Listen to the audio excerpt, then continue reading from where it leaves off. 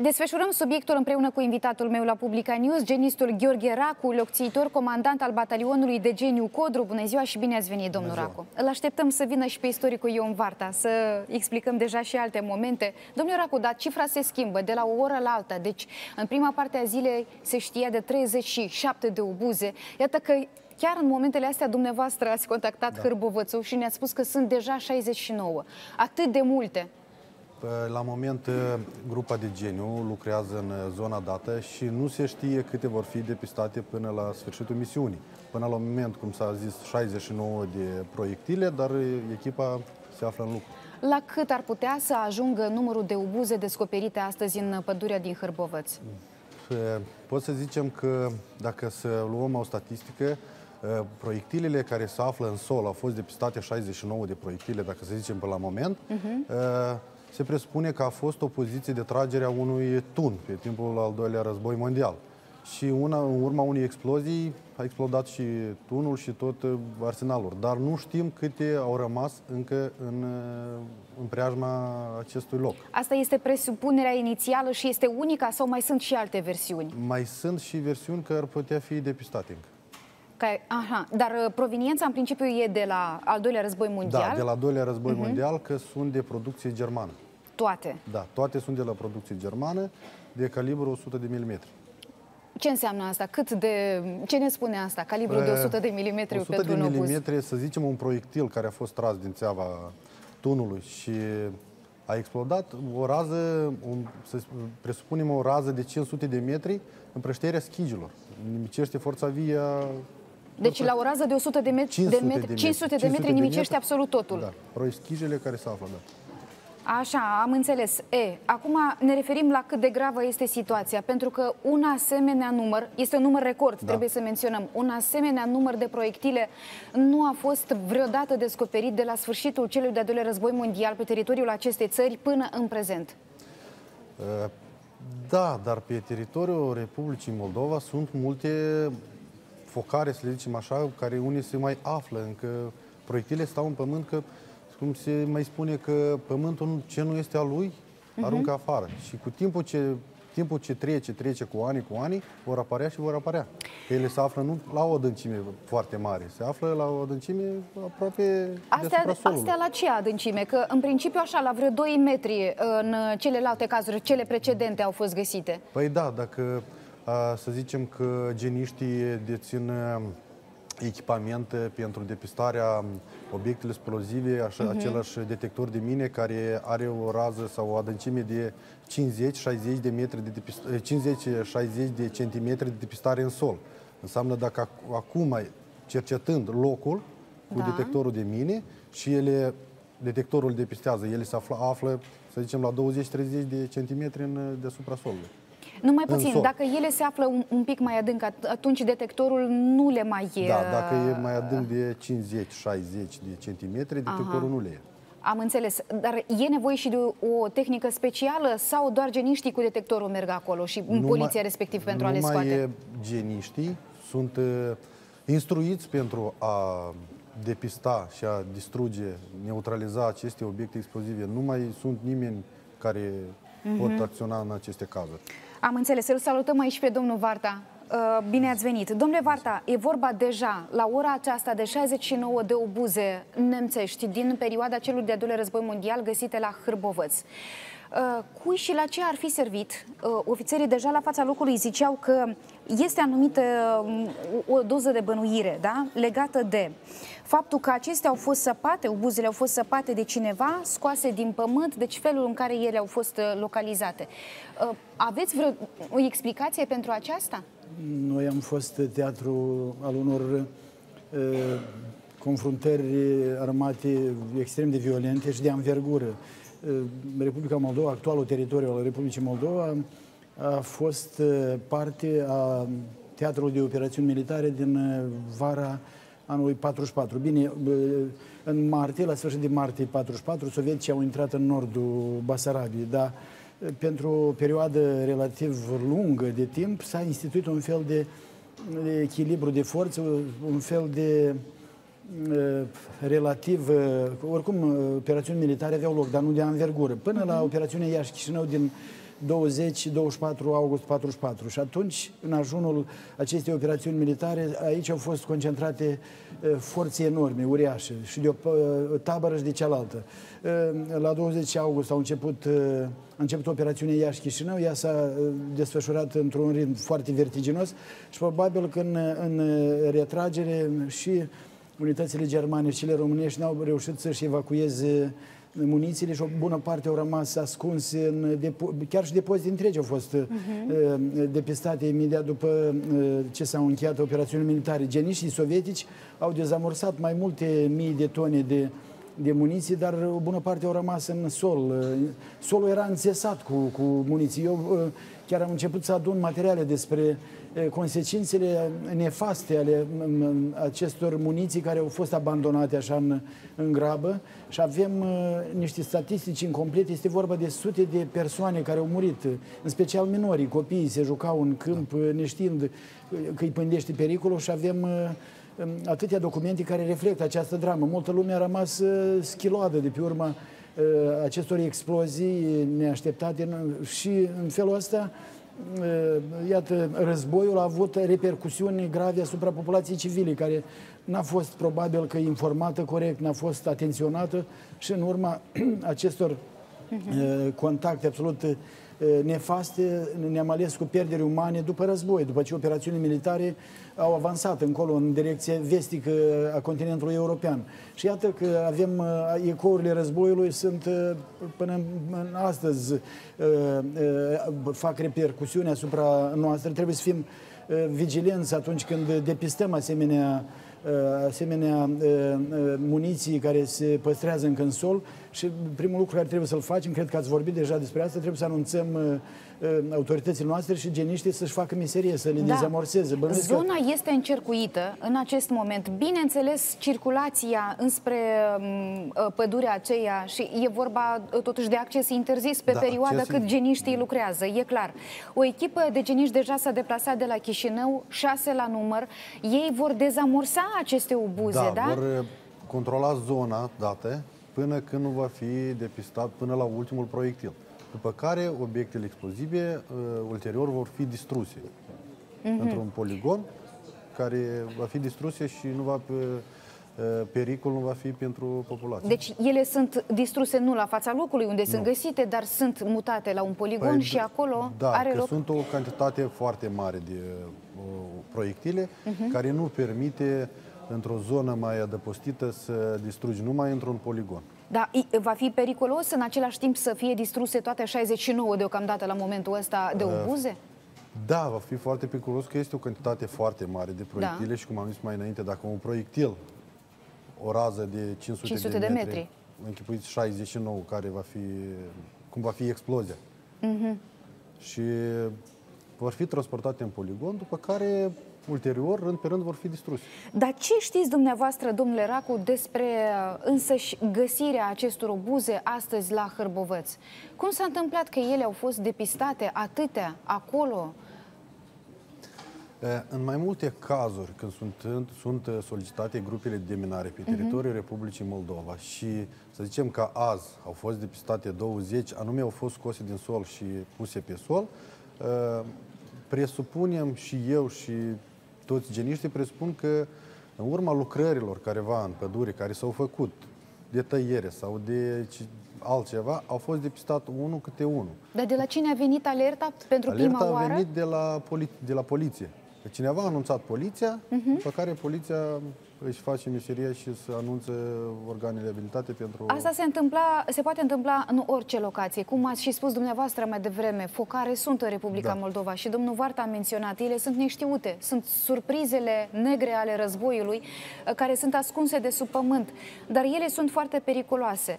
Și aici vă rog să ne ziceți, în cazul în care cineva descoperă chiar și în grădină, doamnă ferește să se întâmple, un obuz, ce ar trebui să facă și respectiv care ar fi pericolele?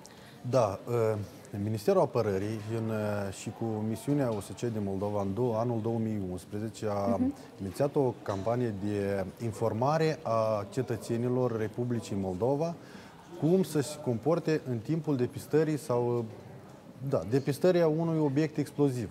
după care au fost uh, informate majoritatea raioanelor și școlilor din uh, Republica Moldova, după care au fost împre- împrăștite sau date niște pleante. Dar, uh, în primul și în primul rând, aș vrea să spun, la depistare, un, cum a zis dumneavoastră, într-o grădină sau într-o pădure, a unui obiect exploziv, unui proiectil, o grenată, un cartuș, uh, toți cetățenii fac uh, diferența dintre o bucată de metal și o proiectil. În primul și în primul rând, nu-l atinge și să se depa- deplaseze cât mai departe de obiectul dat. Și anunță poliția. Nu-l atinge pentru că el poate exploda. Poate exploda în orice moment. Uh, Astăzi, de exemplu, uh, obuzele care au fost găsite au fost acoperite de crengi. Da. Uh, De ce lucrul acesta se face? Uh, Cine a depistat și cine au scos obiectele explozive din uh, pământ, uh, presupun și eu și alții presupun că pe parcursul vieții lor au avut sau în armată când a făcut serviciu militar. Aha, au, da, da, da. Au, au văzut așa ce- ceva și știu pericolul o, ca să nu se apropie cineva, un, să zicem, un copil, cineva să se apropie, că copiii nu, dar uh, în așa caz le-au acoperit, după care au anunțat uh, poliția. Locul oricum trebuie ferit și obuzul acoperit, Da. uh, respectiv. Orice obuz poate exploda? orice obuz uh, poate exploda. Uh, obuzele date se presupune că n-au fost trase deja din uh, tun. Ele au fost... Au fost uh, lăsate, așa cum și a au explicat fost domnul lăsate. Varta, da. Dar uh, cele mai periculoase sunt când au fost trase din tun și se află în sol. Atunci deja uh, uh, ei, uh, obiectul exploziv este uh, amorsat pentru... În Da. orice moment poate exploda. Ceva, o defecțiune a avut în timpul tragerii sau ceva este că el stă permanent pentru a, a exploda. Și este Nefiind foarte scoase pericol. din pământ, ele nu sunt periculoase, dar cum a, apare cineva și o depistează, atunci este da, la pericolul mișcare, iminent. la atingere, la mișcare. La, uh, La o aruncătură La chiar, o aruncătură, la lumină, la soare, când bate soarele. A, și la, soare, de asemenea, e da, reacție. Da, da, Așa, am înțeles. E, domnule Varta, ce locații, ce zone ar putea să fie periculoase acolo unde în pământ ar putea să fie ascunse obuze, poate proiectile, muniții e, încă din perioada războiului? Păi, em, e, Cu siguranță zona centrală și sudică a Republicii Da. Moldova sunt cele mai periculoase, întrucât, spuneam, în zona de nord, operațiunile militare din uh, primăvara anului 44 n-au fost de anvergură și n-au fost lupte crâncene.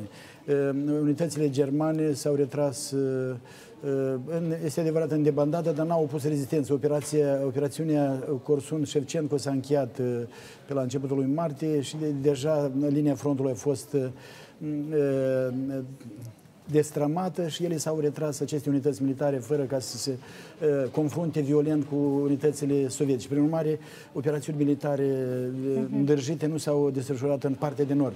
Iar în sud, spuneam, în legătură cu faptul că aici s-au concentrat forțe masive și perioada asta de, de staționare a fost de lungă durată, s-au făcut probabil um, uh, rezerve enorme de muniții și de o parte și de alta și în, în momentul când uh, linia frontului s-a deplasat, aceste muniții așa și-au rămas acolo, în depozite, ascunse în pământ. Dar Și cele ele mai multe de prezintă unde au pericol. rămas? De la uh, Bănuiesc că germanii și sau ambele- totuși și de ambele la tabere, și una sovietici? și alta. Da. Probabil că mai multe, probabil că au rămas de proveniență germană, pentru că linia frontului foarte rapid s-a, s-a deplasat spre vest. Mhm. Uh, Unitățile germane, române au uh, părăsit în, uh, în grabă linia frontului și probabil că aici pe partea uh, germano-română au rămas mai multe uh, proiectile, mai multe uh, muniții și aici uh, cred că este uh, cel mai mare pericol de a depista asemenea asemenea armament uh, care a rămas în sol. În, uh, și Dar el estimativ, prezintă- localități uh, exacte uh, sau cel puțin chiar zone în care s-ar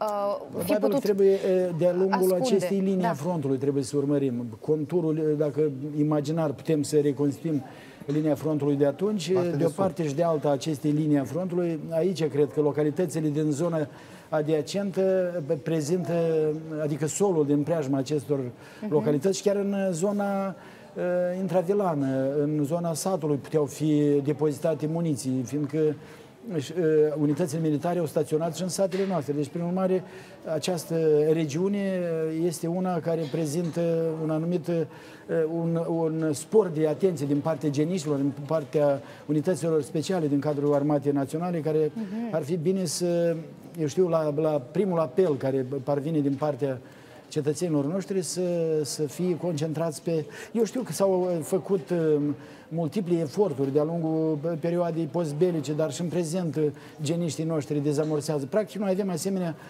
noutăți zeci, probabil, în fiecare an, nu? Că aveți de lucru păi, poate zeci, nu? În acest an, de exemplu, au fost peste 100 de solicitări, da? Da, nu până la moment au da? fost 140 de solicitări de uh-huh. deplasare a grupelor la deminare și au fost depistate peste 500 de obiecte explozive. Peste 500, 500 de obiecte explozive 500. Uh, în acest an. În acest an, de la începutul anului până Am înțeles, dar ne, ne dăm um, seama a fost că vreodată... subiectul nu, problema nu e epuizată. Da, ea, dar ea vedeți că vine, vine alerta, vine genistul uh, și acționează. Dar a fost vreodată intenția uh, pe parcursul ultimelor ani cel puțin, uh, ca împreună cu istorici, împreună cu geniști, specialiști, uh, să se meargă în anumite zone, da, cu potențial risc pentru a fi marcate. Nu cred că a existat o asemenea, un asemenea scenariu ca să ne implicăm și noi istoricii. Uh-huh. Noi am putea să le furnizăm arhiviștii, să le furnizăm uh, unităților noastre de geniști, să le furnizăm niște informații de arhivă despre, eu știu, despre Pozițiile localizarea unde. unităților militare da, în perioada da. aceea, ca să vedem unde au fost dislocate sta, Ar veni bine major, pentru cum... siguranța oamenilor, bineînțeles. Eu cred că oricum este dificil să, să mergem pe, pe, în baza documentului de arhivă ca să putem depista aceste zone periculoase. Mai degrabă, uh, cei ce fac geniștii noștri la, la primul apel se prezintă, atâta doar că populația civilă trebuie să fie suficient de bine instruită, atenționată, să nu comită erori, nu comită gafe care pot fi fatale pentru, pentru oamenii care sunt irresponsabili și intră de o manieră incorrectă în, în, în acest contact cu aceste obuze care ele, într-adevăr, așa cum spune și domnul ofițer, ele sunt periculoase din simplu motiv că deja rugina a acționat asupra metalului și în orice moment poate să de, de, declanșeze mecanismul și atunci pot fi consecințele devastatoare. De ce trebuie să fim prudenți, să nu ne nu ne întrecem cu măsura și să fim responsabili Asta în momentul e. când la ne final, știți ce aș vrea să vă mai întreb, domnule Racu? Uh, pentru că și la Hârbovăț sunt astăzi uh, aceste 69 de obuze depistate, în paralel la Căușeni o grenadă, da? da în satul da, Opaci. Da, a fost tot. găsită și iarăși geniștii au mers într-acolo. Uh, acolo ce e? Pe scurt, așa să ne povestiți. Un, o căușenie Opaci, uh-huh. Dacă, cum a spus domnul, că Zona sudică a Moldovei a fost uh, afectată al de-al doilea război mondial uh, mai puternic. Așa că uh, toate grupele de geniu, majoritatea chemările sunt în zona sudică. Căușeni, Ștefan Vodă, Anenin Noi, Acestea sunt cele mai mari solicitări. Cum Zideți, reacționează oamenii în asemenea cazuri? Cum ați observat dumneavoastră? Oamenii reacționează anume în regiunile date deja sunt informați a, și acționează da, prompt. Chiar și polițiștii și situații excepționale deja sunt uh-huh. mai pregătiți, dar dacă unele nu sunt, în zona nordică nu prea sunt uh, uh, depistate, cam uh, nu prea cunosc de datele. Ei, bun, cu aceasta încheiem, domnule Racu, domnule Varta, vă mulțumim foarte mult pentru participarea în emisiune, vă mai așteptăm la Publica TV, vom continua Publica News cu alte știri, rămâneți alături, revenim în câteva momente.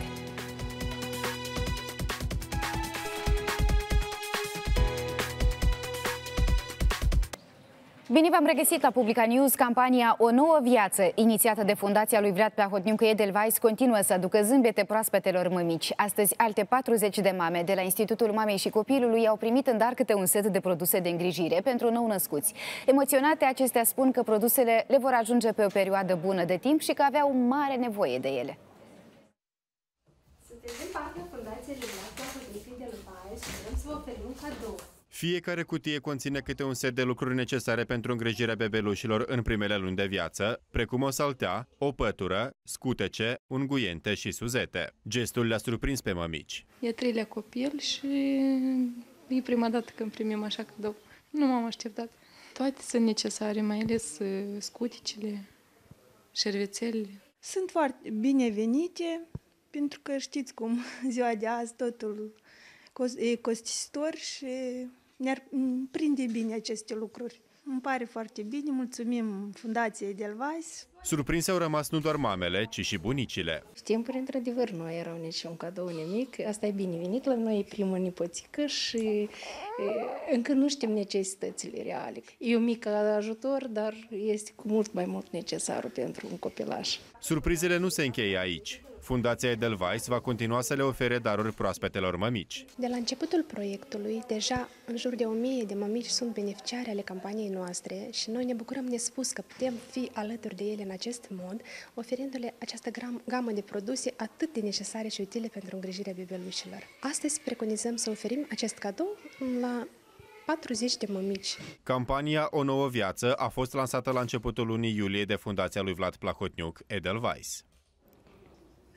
Continuăm cu știrile externe. Un bărbat din orașul ucrainean Harkov a fost arestat după ce 23 de oameni au murit otrăviți cu alcool contrafăcut de el. În urma perchezițiilor au fost găsite peste 4 tone de spirit folosite la prepararea vocii și patronii magazinelor care au distribuit alcoolul contrafăcut au ajuns în arest. Vodka a făcut primele victime acum o săptămână. Doar în ultimele 24 de ore au murit 5 persoane, iar cel puțin 21 de oameni sunt încă spitalizați. Victimele au între 30 și 65 de ani. Potrivit informațiilor preliminare, băutura conținea metanol, o substanță periculoasă. Aceasta apărea pe rafturile magazinelor din orașele Harkov, Donetsk și Nicolaev, cu cel mai mic preț de pe piață.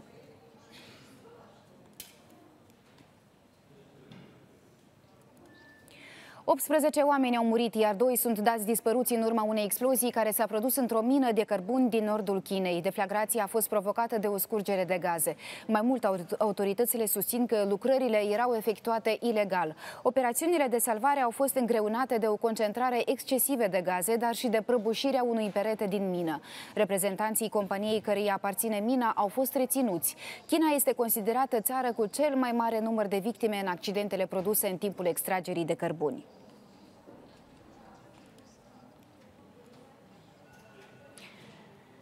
Stare de alertă în Taiwan, unde taifunul Meiji face ravagii. Cel puțin patru oameni și-au pierdut viața, peste 270 au fost răniți, iar mii de persoane au fost evacuate din calea urgiei. Din cauza furtunii puternice, 400 de curse aeriene au fost anulate și tot atâtea au înregistrat întârzieri.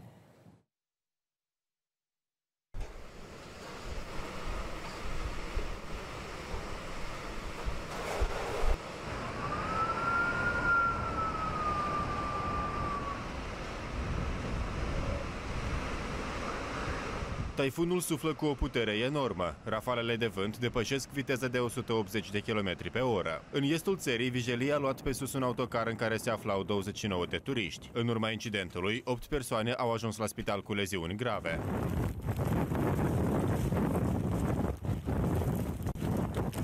Urgia a distrus regiuni întregi, lăsând în urmă case și drumuri avariate, copaci și stâlpi de înaltă tensiune doborâți. Potrivit autorităților, peste 2 milioane de locuințe au rămas fără curent electric, iar în mai multe zone ploile torențiale au provocat inundații puternice. Peste 8.000 de persoane au fost evacuate și aproape 3.000 s-au refugiat în centre de primire.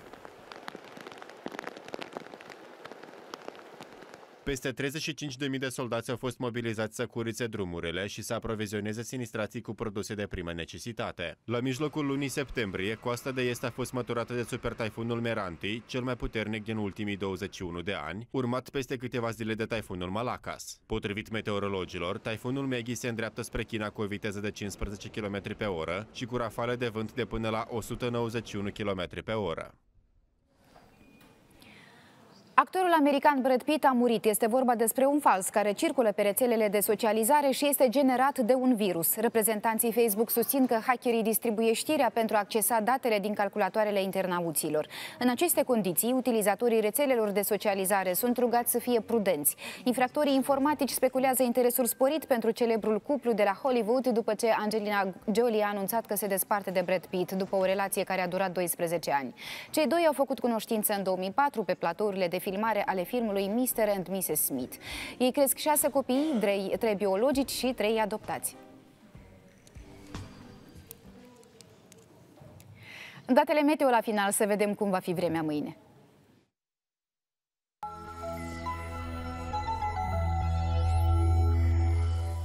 Vremea va fi determinată mâine de influența unei zone de aer cu presiune atmosferică normală. Cerul va fi variabil. Vântul va sufla din sud-vest, slab la moderat, ziua cu intensificări. La Brăceni și Soroca termometrele vor indica 20 de grade, iar la Bălți va fi cu un grad mai mult. La Orhei sunt prognozate 22 de grade, în timp ce la Chișinău se vor înregistra 23 de grade Celsius. La Tiraspol și Leova vor fi 24 de grade, iar la Comraci și Cahul maximile termice vor ajunge până la 25 de grade Celsius. În următoarele zile, vremea va fi caldă. În capitală, temperaturile vor urca ziua până la 27 de grade, iar noaptea sunt prognozate până la 14 grade Celsius.